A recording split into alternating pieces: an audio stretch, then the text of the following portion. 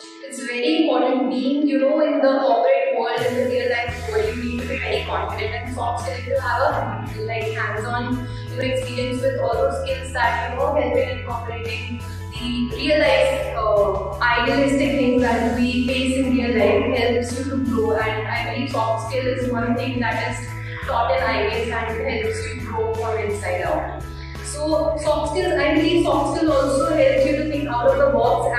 uh, IBS is really helped me